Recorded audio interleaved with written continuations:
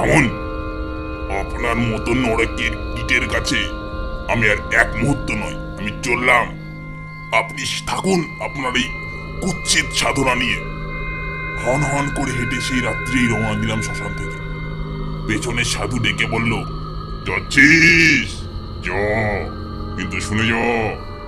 আজ পর্যন্ত আমাকে অপমান করে পৃথিবীর আলো বেশি দিন দেখতে পারেনি কেউ।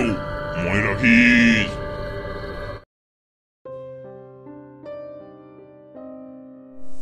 ভৌতিক কথায় আপনাদের স্বাগত জানাই। ভৌতিক কথায় আজ আমি আপনাদের শোনাবো আপনাদের সকলের পছন্দের চরিত্র তারানাথ তান্ত্রিক। তারানাথ তান্ত্রিকের গল্প প্রথম লেখেন বিভূতিভূষণ বন্দ্যোপাধ্যায়। তিনি ছিলেন তারানাথ তান্ত্রিকের স্রষ্টা। তিনি মাত্র দুটি গল্পের দ্বারা এই দুর্দান্ত চরিত্রটি সৃষ্টি করেন। তারপর তার সুযোগ্য পুত্র তারাদাস বন্দ্যোপাধ্যায় এগিয়ে নিয়ে যান এই সিরিজটি। তারাদাস বন্দ্যোপাধ্যায়ের জন্ম ভারতবর্ষের ব্যারাকপুরে। তিনি তার সাহিত্য জীবনে লিখেছেন দুর্দান্ত কয়েকটি উপন্যাস ও অজস্র গল্প। তাকে আমরা হারাই দু সালে। এই গল্পটি আমরা নিয়েছি মিত্র ঘোষ থেকে প্রকাশিত তারানাথ তান্ত্রিক বইটি থেকে। গল্পের প্রধান চরিত্রে তারানাথ তান্ত্রিক মাধব, সাধু এবং কাপালিক। গল্প পাঠে আমি অমিত।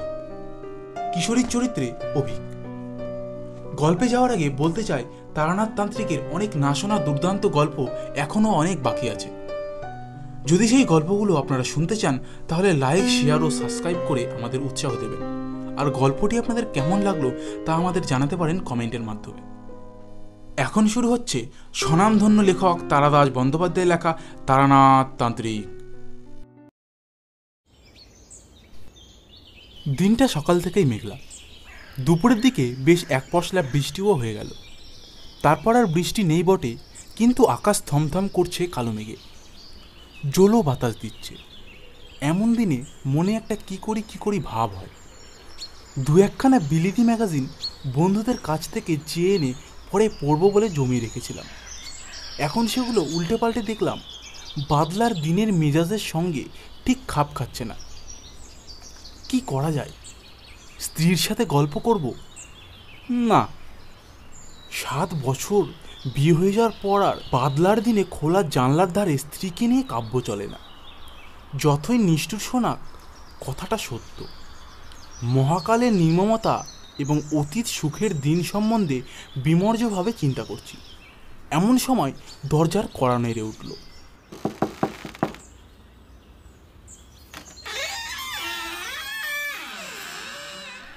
উঠে গিয়ে দরজা খুলে দেখি কিশোরী সেন। ভেতরে ঢুকে কাদামাটা রাবারের পাম্পসু ছাড়তে ছাড়তে সে হেসে বললে এই বর্ষার দিনে বাড়ি বসে করছ কি? বললুম "হে, যে অশ্ব নেই তার তৃণে সংগ্রহ করছিল।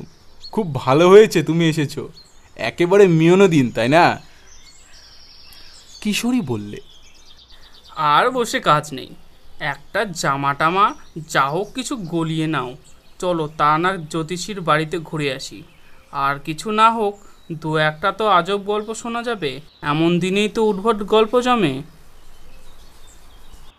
তারানাথের কথা আমার যে কেন আগে মনে পড়েনি, তা ভেবে অবাক লাগল। বললুম, বসো, ধুতিটা বদলে নি। পথে বেরিয়ে বললুম, ট্রামে উঠে কাজ নেই। মাসের শেষ, সেই আট পয়সা দিয়ে বরং সিগারেট কিনে খাওয়া যাবে। হেঁটেই মেরে দিই, চলো। এতটুকুই তো পথ। কিশোরীরও মাসের শেষ। আট পয়সার পাশিংশ কিনে হাঁটতে হাঁটতে দুজনে মট লেনে তারানাথের বাড়ি হাজির হলুম। দরজা খুলে দিল তারানাথের মেয়ে চারি। আমাকে দেখেই বললে কাকাবাবু আজকে আমার লেসের ডিজাইনটা ভুলেননি তো? রোজ রোজই তো ভুলে যান। আজ ভুলিনি। আগে থেকেই পকেটে রেখে দিয়েছিলাম। বের করে হাতে দিতে চারি হাসি মুখে বাড়িতে যেতে যেতে বললে বসুন বাবাকে ডাকি। খবর পেয়ে তারানাথ খুব খুশি হয়ে বেরিয়ে এলো। বহু দিনের মধ্যে তারও এমন একনিষ্ঠ শ্রোতা ও ভক্ত জোটেনি। গল্পের লোক তো শ্রোতার মর্ম বোঝে।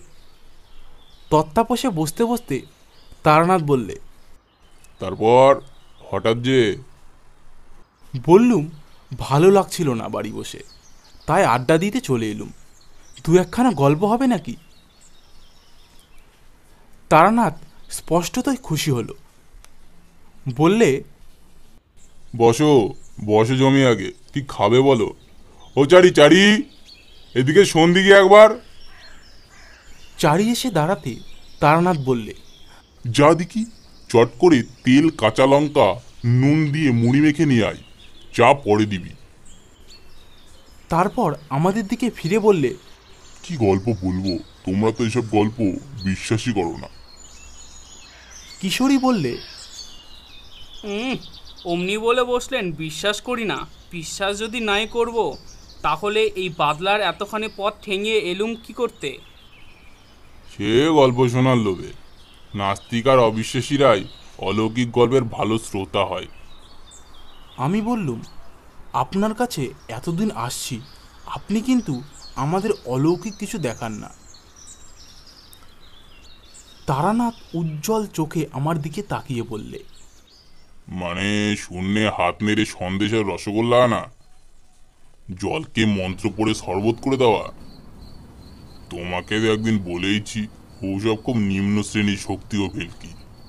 ও করার গুরুর বারণ ছিল। তবে করিনি কি? করেছি। কম বয়সে ভক্তদের অবাক করার জন্য পয়সা রোজগারের ফিকিরে করেছি কিছু কিছু। বাকি শক্তিও তাতেই গেল। ওতে কিছু নেই বাবু। আসল তান্ত্রিক কখনো ভেলকি দেখায় না।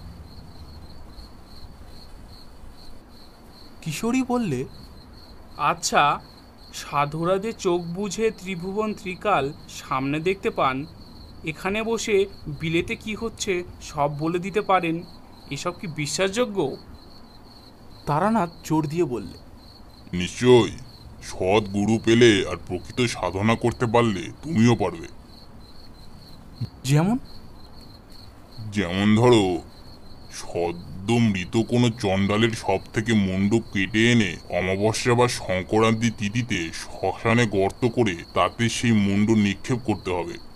পরে গভীর রাতে সেই গর্তের উপর পদ্মাসনে বসে মাথার উপরে মরা দ্বারকাকের বাদিকে ডানা রেখে এক লক্ষবার বীজ মন্ত্র জপ করলে তুমিও সর্বজ্ঞ হতে পারো। কিশোরী বললে বীজমন্ত্র কি? তারানাথ বললে এটি বলা যাবে না। তন্ত্রে অদীক্ষিত লোকের কাছে সাধনার গুহ মন্ত্র বলা নিষেধ। বীজ মন্ত্রই আসল কিনা? চারি তেলে জপজপ করে মুড়ি মেখে নিয়ে এলো। খেতে খেতে বললুম আপনি কি কখনো সত্যিকারের কাপালে দেখেছেন কিশোরী জিজ্ঞেস করলে তান্ত্রিক আর কাপালিকে পার্থক্য আছে নাকি কিছু? তারানাথ বললে পার্থক্য তো আছে তবে সেসব তোমাদের বোঝানো কঠিন। জেনেও তোমাদের কাজ নেই। হ্যাঁ কাপালিক দেখেছি কিছু কিন্তু একবারের স্মৃতি কখনো ভুলতে পারব না। তারানাথ যেন একটু অন্যমনস্ক হয়ে চুপ করে গেল। বললুম বলুন না সে গল্প খুব ভালো লাগবে শুনতে। বলছি এখন তোমরা খেয়ে নাও আগে। সে এক ভয়াবহ কাহিনী হে অনেকদিন বাদে মনে পড়ে গেল। এখনও মনে হলে গায়ে কাটা দেয়। আমি বললুম এই ঘটনা কি মধুসুন্দরী দেবীর আবির্ভাবের আগের? বটেই। আমার ভবঘুরে জীবনের একেবারে প্রথম দিকে ঘটেছিল। তখনও আমি বীরভূমের মাথু পাগলিকে দেখিনি। আ, আ, আ, চা এনেছিস? রাখ। এই তত্ত্বাবাসেই নাও। চা খাও। আমরা চায়ে চুমুক দিলাম। তারানাথ গল্প শুরু করলে। আমার বয়স তখন বাইশ তেইশ। বাড়িতে আর ভালো লাগে না। আমাদের গ্রামের ধারের বাঁধানো বটতলায় একবার এক বিচিত্র দর্শন সাধু এসে আট দশ দিন বাস করেছিল। সামনে ধুনি জ্বলিয়ে চুপ করে বসে থাকে। মাথায় চূড়ার মতো উঁচু জটার ভাট দু চোখ বেশ শান্ত। গ্রামের অনেকেই তার কাছে গিয়ে দুধ, ফলমূল এসব দিয়ে আসতো। বৌঝিরা বায়না করতো মাদুলি তাবিজের জন্য। সাধু কিন্তু কখনো ভরং দেখায়নি। অলৌকিক শক্তি দেখিয়ে ভক্ত জোগাড়েরও চেষ্টা করেনি। কেউ বেশি বিরক্ত করলে বলতো, আমি কিছু জানি নে মা, আমার কোনো ক্ষমতা নেই। ভগবানকে ডাক, ভগবান সব ঠিক করে দেবে। বেশি ধরাধরি করলে বলতো আচ্ছা যা। আমি তোর হয়ে ভগবানের কাছে প্রার্থনা করব। এই সততার জন্য এবং কারও কাছ থেকে পয়সা না নেওয়ার সাধুর উপর আমার যেন কেমন একটা আকর্ষণ জন্মালো। গেলাম একদিন সাধুর বটতলায়। একদিকে বসে আছি।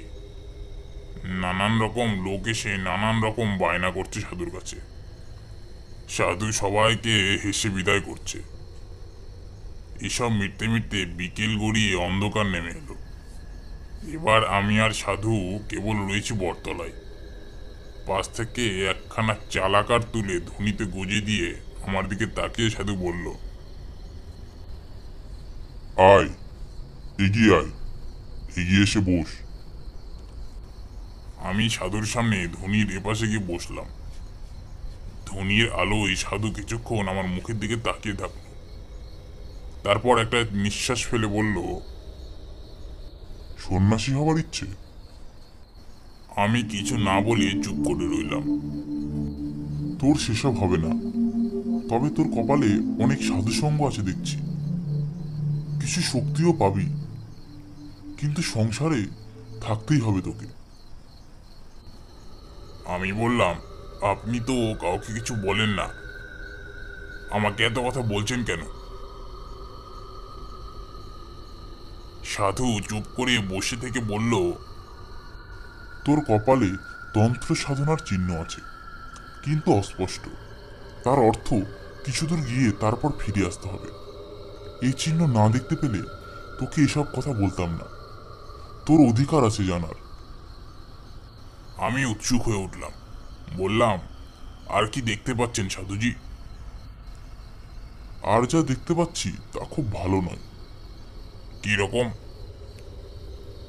বছর খানেকের ভেতর তোর বড় বিপদ আসছে। ভালো হয়েছে আমার সঙ্গে দেখা হলো তোর, নইলে প্রাণ সংশয় হতে পারত। বললাম, এ রকম বিপদ, কিছু বলবেন না? তাহলে তার থেকে বাঁচব কি করে? সাধু বলল, তা আমিও ঠিক বলতে পারছি না। জানলে নিশ্চয়ই বলতাম। তুই এসে বসবার পর থেকেই আমার মনে কেমন যেন একটা অস্বস্তি হচ্ছিল। এখন তোর দেখিয়ে তাকিয়ে দেখতে পাচ্ছি তোর পেছনে একটা অন্ধকারের স্তূপ যেন চাপ বেঁধে আছে। আমি চমকে গিয়ে পেছন দিকে তাকাতেই সাধু হেসে বলল, তুই দেখতে পাবি না। আমি দেখতে পাচ্ছি। আমি বললাম এবছরের মধ্যেই যে বিপদটা ঘটবে তা কি করে বলছেন? আগে বা পরেও তো হতে পারে। ওটা আমার অভিজ্ঞতা থেকে বলছি। বোধহয় ভুল করিনি। চুপ করে বসে রইলাম। বলা বাহুল্য সাধুর কথা শুনে একটু গা শিরশির করছিল। কেউ যদি জানতে পারে তার পেছনে একটা অদৃশ্য চাপা বাঁধা অন্ধকার ঘুরছে তাহলে তার ভালো লাগার কথা নয়। তার উপর নির্জন জায়গা, গ্রামের বাইরের দিকে বটগাছটা। ধনুচি পটপট করে কাঠের গোট পড়া শব্দ হচ্ছে। সাধু আর আমি ছাড়া কোনো দিকে আর কেউ নেই। সাধু বলল, তোকে আমি একটা জিনিস শিখিয়ে দিয়ে যাচ্ছি। ভালো করে শিখে রাখ। যদি কোনোদিনও কখনো বিপদে আসছে বলে মনে হয় কি তোর কোনো অস্বস্তি বোধ করিস, তাহলে এই প্রক্রিয়াটা করবি। যতই বিপদ আসুক, প্রাণটা বেঁচে যাবে। বললাম, কি প্রক্রিয়া সাধুজি? সাধু বলল, নে, ভালো করে দেখ, আর এই মন্ত্রটা মুখস্থ করে নে। একে বলে গাত্রবন্ধন। শিখতে বেশিক্ষণ লাগল না। বললাম কিন্তু বিপদ যে আসছে, তা বুঝতে পারব কি করে? সাধু একটু হাসলো, তারপর বলল, তুই ঠিক বুঝতে পারবি। তোর কপালে তন্ত্র সাধনার চিহ্ন আছে। বললাম না? সময় হলে আমার মতো মনের মধ্যে বিপদের ঘণ্টা বেজে উঠবে। আমি যখন আজ তোর বিপদ বুঝতে পারলাম, বললাম, কিন্তু আমি তো পারিনি। আজ থেকে তোকে কিছুটা শক্তি দিলাম। ভালো মন্দ যাই আসুক, তুই আগে থেকেই আন্দাজ করতে পারবি। আমি হাত করে বললাম, আমাকে আপনার শিষ্য করে নেন। আমি দীক্ষা নেব আপনার কাছে। সাধু ভ্রু কুচকে বলল, ওসব হবে তবে না। আমি কাউকে শিষ্য করি না। আবদার করিস না। যা যা, কেটে পড়। আবার কবে আপনার দেখা পাবো? এমনিতে দেখা পাবি না। তবে সত্যি, কখনো যদি তোর প্রাণ সংশয় ঘটে, তাহলে তোকে সাবধান করে দেব। তারপরেই একটা আটপোড়া কাঠ তুলে নিয়ে ধনী খুঁচিয়ে দিয়ে বলল, যা যা, ভাগ, পালা। বাড়ি ফিরে এলাম। পরদিনই সে সাধু আস্তানা ভেঙে কোথায় চলে গেল কে জানে। পরদিন বিকেলে বটতলা গিয়ে দেখি শুধু নিভে যাওয়া ধনির ছাই আর কতগুলো আতপোড়া কাঠ পড়ে আছে। মাসখানেক কাটলো। কিছুই যেন আর ভালোই লাগে না। কেবলই বাড়ি থেকে বের হয়ে যেতে ইচ্ছে করে। পথ যেন দারুণ আকর্ষণে টানছে। কেবল যে ধর্মের স্পৃহা, তা নয়, একটা ভবঘুরুমি পেয়ে বসল। আরও কিছুদিন এভাবে কাটাবার পর একদিন সত্যি কয়েকটা জামা কাপড় আর দশটা টাকা নিয়ে বেরিয়ে পড়লাম। বাড়ির লোক খোঁজাখুঁজি করবে এবং সন্ধান পেলেই ধরে নিয়ে যাবে বাড়িতে। এর জন্য সারাদিনই প্রায় হাঁটতাম। যত দূরে গিয়ে পড়া যায়। রাত্রিরে আশ্রয় নিলাম কোনো এক গৃহস্থের বাড়িতে। তখনকার লোকজন ছিল ভালো। অভাব ছিল না। গোলা ভর্তি ধান পুকুর ভর্তি মাছ, নিজের গরুর দুধ। অতিথিকে যত্ন করতে সে যুগের লোক ত্রুটি করতো না। অব্রাহ্মণ গৃহস্বামী হলে গোয়াল ঘরের একপাশে পরিষ্কার করে রান্নার আয়োজন করে দিত। সেখানে বসেই রাখতাম তারা আবার অপেক্ষা করতো ব্রাহ্মণের প্রসাদ পাওয়ার। কিশোরী প্রশ্ন করল জিনিসপত্রের দাম তখন কীরকম ছিল? তারানাথ বলল গায়ের দিকে বেশিরভাগ জিনিসপত্র কিনে খেতে হতো না। সবই তো গ্রামে উৎপন্ন হতো তবে হ্যাঁ মনে আছে একবার আমি আমার বন্ধু হরমোহন মাংস খাবার শখ হওয়ায় গ্রামের পাশ থেকে দশ আনা দিয়ে একটা পাঠা কিনে এনে দুজনে রান্না করে খেয়েছিলাম। তাও হরমোহন বারবার বলছিল আমরা ঠকেছি আর একটু দরাদরি করলে আট আনার ভেতরেই হয়ে যেত। আমি অবাক হয়ে বললাম দশ আনায় একটা আস্ত পাঠা? বটে সেসব সস্তা গন্ডার বাজার তোমরা কল্পনাও করতে পারবে না। দুজনে মিলে গোটা পাঠাটা খেয়ে ফেললেন? তা পারব না কেন? গায়ের ছেলে আমাদের খিদেও ছিল আর অম্বলের ব্যামতেও ভুগতাম না। আমার খাওয়ার কথা আর কি শুনেছ? আমার বাবা খায়ের হিসেবে দশ গায়ের নামে দাম ডাকছিল। সে গল্প পরে একদিন বলব নি। কিশোরী বলল হ্যাঁ যে গল্প হচ্ছিল সেটা হোক। তারানাথ বলতে শুরু করল এভাবে কিছুদিন ঘুরে বেরিয়ে বিরক্ত ধরে গেল। রোজ রোজ অকারণে পথ হাঁটা লোকের বাড়িতে আশ্রয় নেওয়া তাদের দক্ষিণে ভালো ভালো খাওয়া। শুধু খাওয়ার জন্য কি বাড়ি থেকে বেরিয়েছি? বাড়িতে কি আমার ভাতের অভাব ছিল। কিন্তু যা চায় তা পাই কই? যাই হোক পথ হেঁটে ক্লান্ত অবস্থায় একদিন সন্ধেবেলা এক গ্রামে এসে পৌঁছালাম। গ্রামটায় বসতি নেই। একটু ছাড়া ছাড়া বাড়িঘর। আম, জাম, বাঁশবাগানে ভরা। একটা বড় আম বাগানের পাশে কাদের বেশ সুন্দর বাড়ি দেখে সেখানেই আশ্রয় নেব ভাবলাম। সুন্দর বলতে পাকা বাড়ি নয় পুরো চালের বড় বড় আট দশখানা ঘর, মাঝখানে উঠোনকে ঘিরে। বিরাট উঠোনে ধানের গোলা। এক পাশে গোয়ালে কতখানা গরু সাজালে দোয়ার মধ্যে বসে বসে জাবর কাটছে। আমি উঠানে পা দেওয়ার সঙ্গে সঙ্গে বাড়ির মধ্যে সাকি ফু পড়ল। সব মিলিয়ে সম্পূর্ণ গৃহস্থের লক্ষণ ঘুরে বেরোচ্ছে। উঠোনে দাঁড়িয়ে এদিক ওদিক তাকাচ্ছি। একজন কালো মতো বয়স্ক লোক এগিয়ে এসে বলল, কি চাই? বললাম, আমি বিদেশি লোক। রাত্রিটা একটু থাকার সুবিধা হবে কি? আপনারা? ব্রাহ্মণ।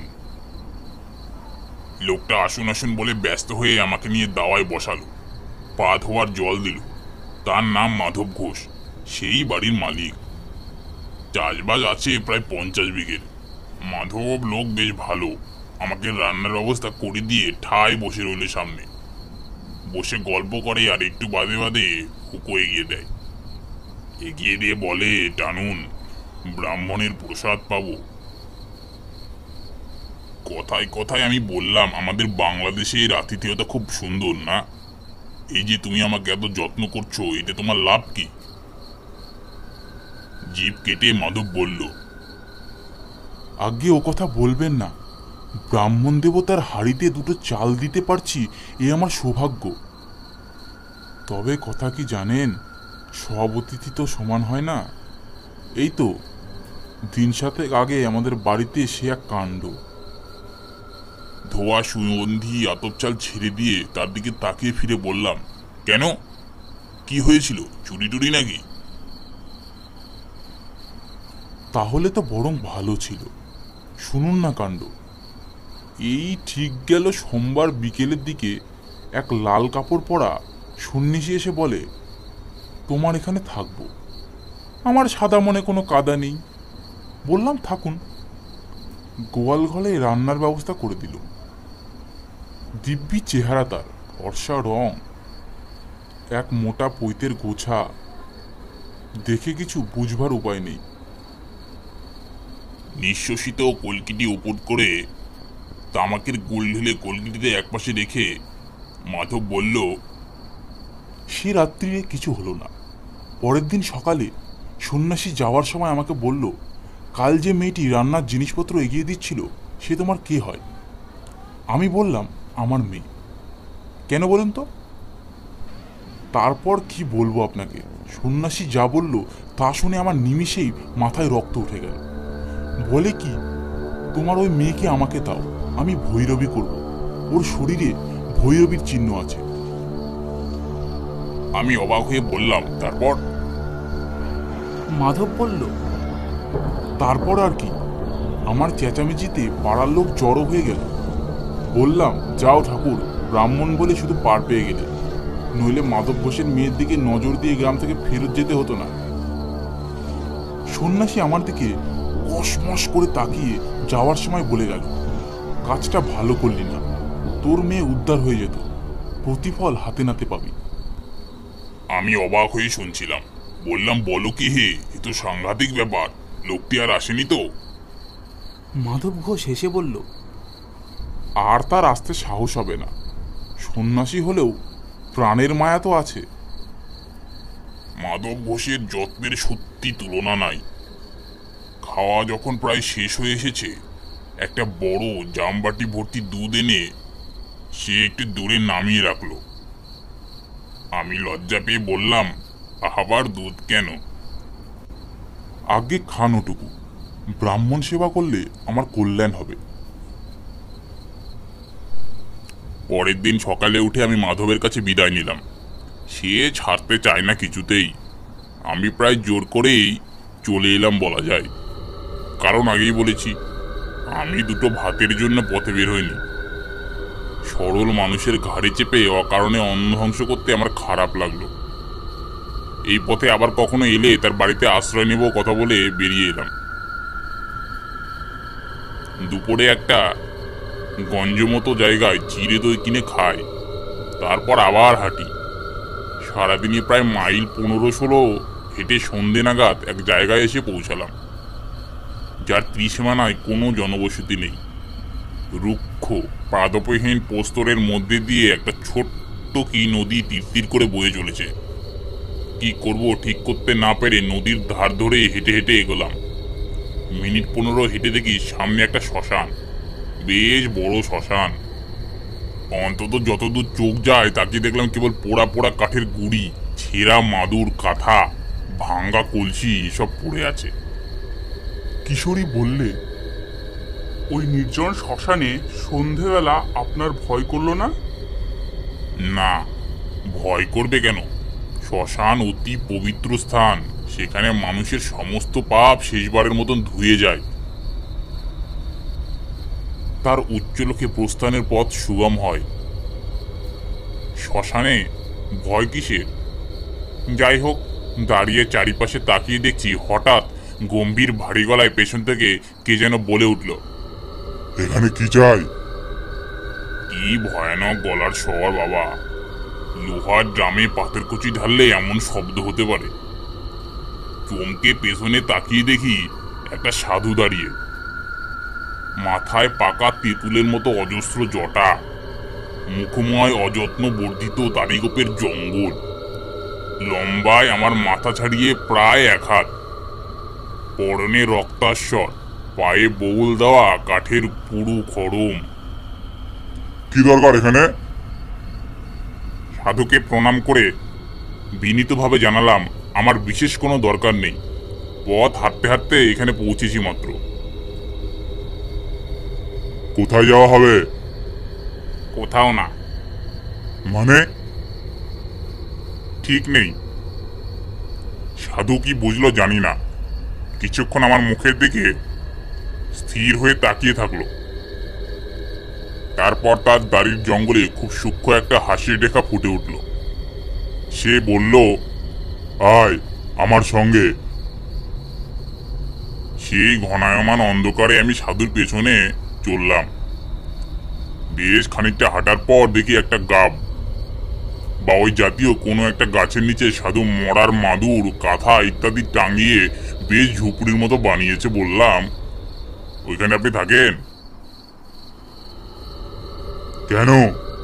অসুবিধাটা কি? সাধুর কথাবার্তা যেন কেমন কেমন? আমি বললাম, না, অসুবিধা আর কি, তাই বলছি। সাধু আমাকে ঝুপড়ির বাইরে বসতে দিয়ে নিজে ভেতরে ঢুকলো। বেরিয়ে এলো দুটো পাকা কলা হাতে নিয়ে। বলল, এই নাও, খাও। নিলাম। কি উদ্দেশ্যে বেরোনো হয়েছে বাড়ি থেকে? সাধু হওয়ার ইচ্ছে নাকি? আমি উত্তর না দিয়ে কলা হাতে ধরে চুপ করে বসে রইলাম। তুই আমার কাছে থেকে যা, আমি তোকে চেলা করে নেব। থাকবি তারপর সাধু একটা কথা বলল, যা আমাকে আমাদের গ্রামের বটতলায় সেই সাধুও বলেছিল। বলল, তোর কপালে তন্ত্র সাধনার চিহ্ন আছে। থেকে যা তুই আমার কাছে। আমি একটু ফাপড়ে পড়লাম। এই সাধুকে দেখে আমার তেমন ভক্তির উদয় হয়নি, বরং কিছু একটা অস্বস্তি হয়েছে। এত সহজে নিজে থেকে চেলা করে নিতে চাইলো দেখে সে ভাব বেড়েছে বই কমেনি। ভালো সাধুও কখনো কথায় কথায় শিষ্য করে বেড়ায় না। অবশ্য আমার চিন্তা কি? থাকি কদিন? ভালো না লাগলে কেটে পড়ব? বাধা কোথায়? সাধু সঙ্গের জন্যই তো বেরিয়েছি। বাজিয়ে দেখতে দোষ কোথায়? বললাম, থাকব। সাধু বলল, বেশ, আমি একটা বিশেষ সাধনা করছি। সেটা কদিনের মধ্যেই শেষ হয়ে যাবে। তারপর তোকে দীক্ষা দেব। কি সাধনা? সে আছে, সময় হলে জানাব। তাছাড়া তোর সাহায্য আমার দরকার হতে পারে। থেকে গেলাম সাধুর কাছে। দু চার দিন কেটে গেল। সাধু আমাকে একলা ফেলে রেখে সারাদিন কোথায় কোথায় ঘুরে কি সব সংগ্রহ করে আনে? বোধহয় নিজের সাধনার জিনিসপত্র। রাত্রিরে বসে অনেকক্ষণ ধরে পুজো আর সেই সময় আচ্চা আর জপতপ করে। আমি একটু দূরে কাঠকুড়ো দিয়ে আগুন জেলে মাটির হাঁড়িতে ভাতে ভাত রান্না করছি। অনেক রাত্রিরে খাওয়া হয়। ক্রমে সাধুর কাণ্ড কারখানা দেখে আমার মনে দৃঢ় বিশ্বাস হলো সাধু একজন কাপালি। একদিন একটা মরা চড়ুই পাখি কোথা থেকে ঠ্যাং ধরে ঝুলিয়ে এনে হাজির। ঝুপড়ি থেকে ছুরি এনে চড়ুইটার পেট চিরে নাড়ে বুড়ি বের করল সাধু। তারপর কি একটা জিনিস আমাকে না দেখিয়ে টুক করে ভরে দিল পাখিটার পেটে। আবার ঝুপড়িতে ঢুকে দুখানা একই মাপের মাটি সরা এনে একটাই মরা পাখিটা রেখে অন্যটা দিয়ে চাপা দিল। তারপর একটু আটা মেখে সেই আটা দিয়ে দুটো সরাইয়ের মুখে জুড়ে দিল। আমি অবাক হয়ে বললাম, এ দিয়ে কি হবে? সাধু সংক্ষেপে বলল, কাজ আছে। তারপর আমার হাতে মুখবদ্ধ সরাটা দিয়ে বলল, আগুনে পোড়াতো এটা? এটা এক ঘণ্টা ধরে পোড়াবে। এভাবে তিন দিন এক ঘণ্টা করে পোড়াবে। নাও। রান্না হয়ে গিয়েছিল। কিন্তু আগুন তখনও জ্বলছে। আমি কথা না বলে সরাটা সাধুর কাছ থেকে নিয়ে আগুনে রেখে দিলাম। সাধু বললে দ্রব্যাগুন বুঝলে? দ্রব্যাগুন একটা বিরাট জিনিস, তুমি মানো? বললাম, আমি নিজে প্রত্যক্ষ কখনো দেখিনি। গাছপালা থেকে ওষুধ তৈরি হয় শুনেছি। খেলে অসুখ সেরে যায়, তাও দেখেছি। কিন্তু সেসব কথা শুনতে পাওয়া যায়। যেমন বশীকরণ সেসব দেখিনি। সাধু হেসে বলল, বশীকরণ, ও আবার একটা কঠিন জিনিস নাকি? ও অনেক রকম উপায় আছে। বেশি জটিল প্রক্রিয়ায় যাওয়ার দরকার কি? একটা সোজা উপায় শিখিয়ে দি, শোন। চেষ্টা করলে তুইও পারবি। আগে কি? সে কোনো এক মাসের অমাবস্যা তিথিতে যদি দুপুরবেলা ঘূর্ণিঝড় ওঠে কিংবা জোরালো হাওয়া দেয় তবে সেই হাওয়ায় উড়ে যাওয়া কোনো শুকনা গাছের পাতা একটা মন্ত্র বলে বলতে বলতে ধরতে হবে। সেই পাতা গুঁড়ো করে পান বা দুধ যাই হোক কিছুর সঙ্গে মিশিয়ে খাওয়াতে পারলে সেই লোক কুকুরের মতন তোর পায়ে পায়ে ঘুরবে। আছে আমার কাছে, দেখবে?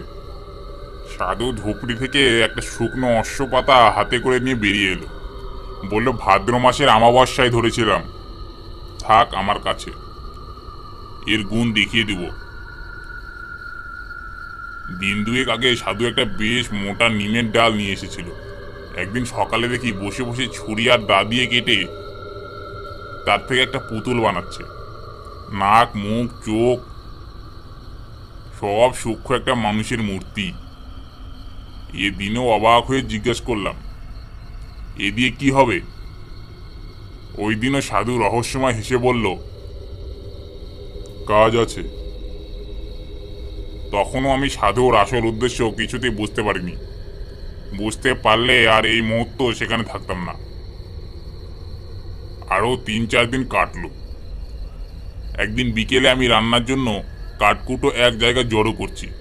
সাধু এসে বলল, তুই প্রকৃতির সংঘার শক্তিতে বিশ্বাস করিস? বললাম আগে ঠিক বুঝতে পারলাম না। প্রকৃতির অন্যরকম শক্তি আছে। যেমন পৃথিবী আমাদের শস্য দান করে, বাতাস দান করে, বৃষ্টি দান করে, এগুলি আমাদের প্রাণ বাঁচায়। এগুলি শুভ শক্তি। আবার মহামারী, দুর্ভিক্ষ, বন্যা, যুদ্ধ, এগুলি হলো সংহার শক্তি। এছাড়া নানা ধরনের অদৃশ্য, অদ্ভুত মারণ শক্তি আছে। সাধনার দ্বারা তাদের জাগ্রত করা হয়।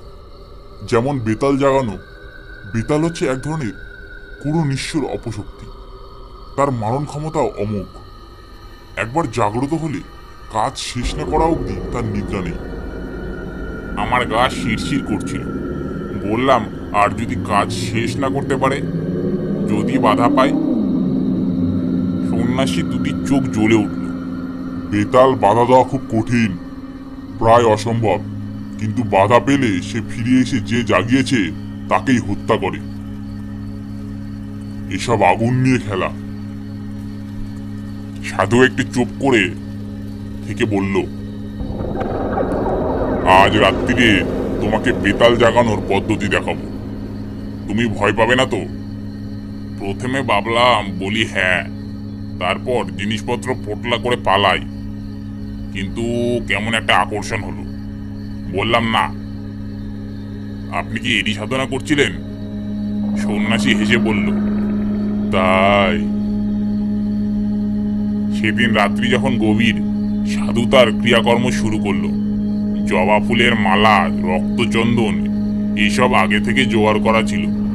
সাধু সেই নিম কাঠের পুতুলটা এনে তাতে বেশ করে তেল সিঁদুর মাখালো। তারপর সেটাকে কোমর অব্দি পুতলো মাটিতে। তার চারিদিকে বেড়ার মতো করে মাটিতে রেখে দিল। একটা জবা ফুলের মালা। পদ্মাসনে বেশ বিড়বিড় করে কি যেন মন্ত্র পড়তে পড়তে পুতুলটা চন্দনে ছিঁড়ে দিতে লাগল। এসব হলে খোলা থেকে বের করল একটা মদের বোতল। সাধুর ঝুপড়িতে একটা মরার খুলি ছিল। আগে দেখেছি। সেটাতে খানিকটা মদ ঢেলে সাধু আমার দিকে তাকিয়ে বলল, সেই বদ্ধ সরাটা কই? আমি সরা এনে দিলাম। সাধু আটাগুলো নখ দিয়ে খুঁটে খুঁটে তুলে সরাটা খুললো। দেখলাম তিন দিন পোড়ানোর ভিতরে পাখিটা একদম ছাই হয়ে গিয়েছে। সেই ছাই এক চিমটে নিয়ে মদে মেশালো সাধু। তারপর ঢক ঢক করে মদটা গলায় ঢেলে নিল। খাওয়ার পরেই সাধু আশ্চর্য পরিবর্তন দেখলাম। সাধুর চোখ দুটো ছোট ছোট, কোটরে গিয়ে যেন দূর দূরগুলো কয়লার মতন জ্বলছে। আমার দিকে ফিরে দেখে সাধু বলল শুকনো কাঠটা নিয়ে একটু ধুনি করো। করলাম। ধনী বেশ জ্বলে উঠতে উঠতে সাধু রক্তচন্দন দিয়ে ধনী পুজো শুরু করল। তারপর তোমার কোথায়, গাওয়া ঘি? একটা জবা ফুল। আরও কি যেন মিশিয়ে মন্ত্র পড়ে আগুনে আহুতি দিল। সঙ্গে সঙ্গে একটা বিরাট পোড়া গন্ধে ভরে গেল চারিদিক। সাধু বিকৃত গলায় হেসে উঠল, আর আমার মনে হলো সেই ধোয়ার অন্ধকারে ভেতরে ধুনির মধ্যে থেকে একটা যেন জমাট অন্ধকার দিয়ে তৈরি মূর্তি উঠে বাতাসে ভর করে। বাতাসে ভর করে ভেসে উঠে কোথায় মিলিয়ে গেল? আমি অবাক হয়ে সেদিকে তাকিয়ে রইলাম। মূর্তিটা দেখো পরিষ্কারভাবে যে দেখেছিলাম, তা বলতে পারি না। তবে যেটুকু দেখতে পেয়েছিলাম, তাতেই বুক ঠান্ডা হয়ে আছে। বিশাল হুল, রাত্রি অন্ধকার দিয়ে তৈরি যেন একটা অপছায়া। সাধু বলল, দেখলে ওই বেতল আমি বললাম, "কো- কোথায় গেল? সাধু বলে বসল, এদিকে সরে হয় আমি আসল কথাটা এতদিন তোকে বলিনি, আজ বলি। আজ থেকে পনেরো কুড়ি দিন আগে এখান থেকে মাইল কুড়ি দূরে এক গ্রামে আমি মাধব ঘোষ নামে একজনের বাড়িতে গিয়ে আতিথ্য গ্রহণ করি। আমার মাথায় বিদ্যুৎ ঘেরে গেল। মাধব তাহলে এই কপালে গিয়ে সেদিন মাধব বাড়িতে হাঙ্গামা করেছিল? বটে। সাধু বলে চলেছে, সে মাধব ঘোষের বড় মেয়ের দেহে প্রকৃত সদন সঙ্গিনী হওয়ার উপযুক্ত সমস্ত লক্ষণ বর্তমান ছিল। আমার বর্তমানে কোনো ভৈরবী নেই। আমি পরদিন সকালে মাধব ঘোষের কাছে সাধনার জন্য মেয়েটিকে চেয়েছিলাম। মাধব ঘোষ দিল তো নাই, উপরক্ত আমাকে এত কথা শুনি অপমান করে বাড়ি থেকে তাড়িয়ে দিল। সে অপমান আমার বুকে কাটার মতো বিঁধে আছে। বেরিয়ে আসবার সময় মাধব আমার ঘাড়ে হাত দিয়ে একটা ধাক্কা দিয়েছিল। আমার গায়ে হাত। আচ্ছা মাধব, এবার দেখাবো তোমাকে। আমি ভয় পেয়ে বললাম, কি করবেন আপনি? করব কি? করেছি, এই যে বেতাল জাগিয়ে পাঠালাম কোথায় গেল সে? পাঠালাম ওই মাধব ঘোষের বাড়ি। এবার সে বুঝবে কাকে সে অপমান করেছিল। কি হবে মাধব ঘোষের? আজ তার ক্ষতি কিছু হবে না। আজ তার বাড়িতে একটা কিছু করে আসবে বেতাল। এক পক্ষ ধরে আমি বেতাল মন্ত্র জপ করে আজ আহুতি দিয়েছি। কাল অমাবস্যা। কাল পুণ্যাহি দেব করে। ওই যে নিম কাঠের বোতল দেখছ? ওই হচ্ছে মদন ঘোষের প্রতিমূর্তি ওই পুতুলে কাল প্রাণ প্রতিষ্ঠা করে বেতালকে চিনিয়ে দেব। তারপর বেতাল আবার কাল যাবে মাধবের বাড়ি। তারপর মাধব ঘোষের মৃতদেহ পড়ে থাকবে উঠোনে। ভয়ঙ্কর বিশিষ্ট অপমৃত্যু। কেউ কিচ্ছু টের পাবে না কোথা থেকে কি হলো। সাধুর মুখখানা যেন আমার নেকড়ে বাঘের মতন মনে হচ্ছিল। আমি আর সহ্য করতে না পেরে বললাম কিন্তু এ কিন্তু আপনি অন্যায় করছে এ ঠিক নয়। সাধুর চোখ আবার থক করে জ্বলে উঠল। পৈশাচিক ক্রোধে মুখ বিকৃত করে সে আমার দিকে তাকিয়ে বলল, কি বলতে চাস তুই? আমি অন্যায় করছি? আমার যেন কেমন একটা সাহস এসে গেল। বললাম, নিশ্চয়ই নিশ্চয়ই অন্যায়। আপনি এই কুকর্মে লিপ্ত আছেন জানলে আমি একদিনও এখানে থাকতাম না। এখানে প্রতিহিংসা সাধনের জন্য নরহত্যা মহা ধর্ম মূর্খ তুই মূর্খ কপালিকের পক্ষে প্রতিহিংসা সাধন অধর্ম নয়। তুই আর কি বুঝবি? তেমন আপনার মতো নরকের কীটের কাছে আমি আর এক মুহূর্ত নয়, আমি চললাম।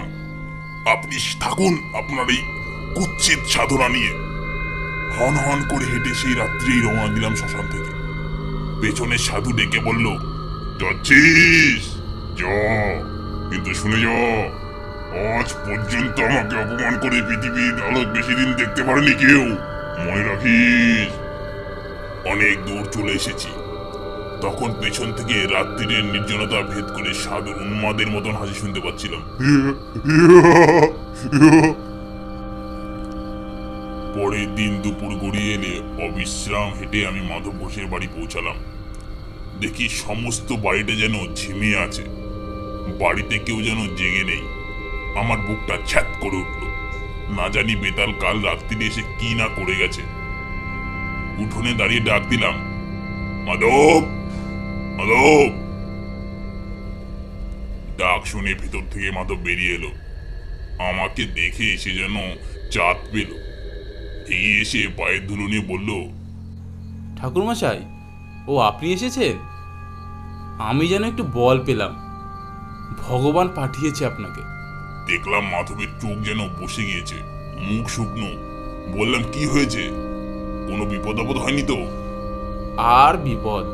গতকাল রাত্রিরে আমার দুখানা গাই গরু মরে গেল ঠাকুরমশাই। সে কি? গরু মারা গেল কি করে? তা কি করে বলি বলুন তো? আশ্চর্য ব্যাপার তখন অনেক রাত। হঠাৎ গোয়ালে একটা শব্দ শুনলাম।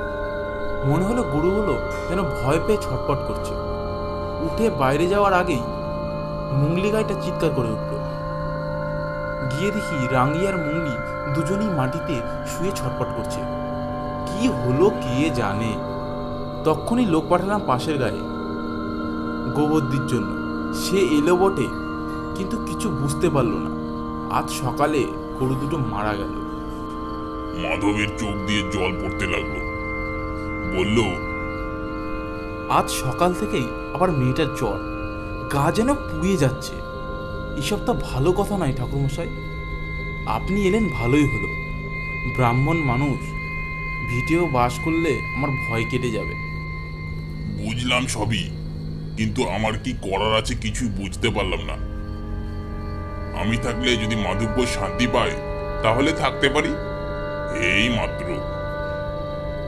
একটু পরেই একটা অদ্ভুত ঘটনা ঘটলো। তখন বিকেল গড়িয়ে বেশ গাঢ় হয়ে এসেছে। মাধব ঘোষ বেশ করে ফলালের আয়োজন করে দিয়েছে। ফলার করে আমার একটু বাগানে যাওয়ার প্রয়োজন হয়ে পড়ল। মাধবের কাছ থেকে গড় চেয়ে বাগানে ছাড়লাম গড় হাতে ফিরছি, হঠাৎ মনের মধ্যে কেমন যেন একটা অনুভূতি জেগে উঠল। ঠিক কীরকম তা বোঝাতে পারব না, কিন্তু আমার খুব বড় একটা বিপদ আসছে। খুব কাছে এসে গিয়েছি সেই বিপদ। ভয়ের একটা বিচিত্র অনুভূতি বুকের মধ্যে ঠেলে উঠল। সেই অন্ধকার নির্জন আম গাছে দাঁড়িয়ে হঠাৎই আমার বুক যেন হিম হয়ে গেল। কেন এরম হচ্ছে আমার সাথে? তাড়াতাড়ি ফেরবার জন্য এগিয়ে গিয়ে মনে হলো কয়েক হাত দূরে একটা আম গাছের গুড়িতে পাশে কে যেন চুপ করে দাঁড়িয়ে আছে। আর একটু হলে বোধহয় ভয় পেয়ে চিৎকার করে উঠতাম, কিন্তু ততক্ষণে দাঁড়িয়ে আমি তাকে চিনতে পেরেছি। আমার গায়ের বটতলার সেই সৌম্যমূর্তি সাধু, যিনি বলেছিলেন, আমার বিপদ ঘনিয়ে এলে আমাকে দেখা দেবেন তাহলে কি সত্যিই আমার আজ বড় বিপদ? দূর থেকে আমি সাধুকে প্রণাম করলাম। সাধু হেসে হাত তুলে আশীর্বাদ করলেন। তারপর হঠাৎ কোথায় সাধু? কোথায় কি? কেউ নেই কোথায়? আমি এক অন্ধকারে গড় হাতে দাঁড়িয়ে ফিরে এসে মাধব ঘোষকে ডাকলাম, বললাম, দেখো আজ তোমার আমার দুজনের বড় বিপদ। কি বিপদ? তা আমি তোমাকে বলব না। তোমার জেনেও কাজ নেই। মোট কথা, আজ আমি আর তুমি তোমার বাড়ির বাইরে পা রাখব না। চুপ করে বাড়িতে বসে ভগবানের নাম করো, আর আমাকে এক ঘটি জল এনে দাও তো। মাধবীর মুখ শুকিয়ে আরও ছোট হয়ে গেল। দৌড়ে এক ঘটি জল এনে দিল সে। আমি সাধুর দেওয়ার গাত্রবন্ধনের মন্ত্র দিয়ে জলটা শোধন করে বাড়ির চারপাশ ঘুরে ছিটিয়ে গন্ডি কেটে দিলাম। আমি বুঝতে পেরেছিলাম বিপদ শুধু আমার আর মাধবের। কাপালিক আমাদের ছাড়বে না। আজ আমাবস্যা আজই সে আমাদের দুজনকে বেতাল পাঠিয়ে শেষ করবে। অন্যরা হয়তো নিরাপদ, তবে সাবধানের মান নেই। জেনে সারা বাড়ি চারিদিকে গন্ডি দিয়ে দিলাম। রাত্রিরে খাওয়া দাওয়া হলে মাধবকে ডেকে বললাম তুমি আমি আজ এক ঘরে থাকব। বাড়ির সবাই শুয়েছে? আগে হ্যাঁ ঠাকুরমশাই। বেশ। আয় আমার সঙ্গে। ঘরে গিয়ে আমি মাধবকে বললাম ওই ঘুটি থেকে খানিকটা জল ঢাল মাটিতে। এই যে খাটের পাওয়ার কাছে এইখানটায় ঢাল আচ্ছা। এবার ডান পায়ের বুড়ো আঙ্গুল দিয়ে ওই জল থেকে রেখা টেনে খাটের চারিদিকে একটা জলের গন্ডি কাট। নাও শুরু করো। আমি তোমার সঙ্গে মন্ত্র পড়তে পড়তে ঘুরছি।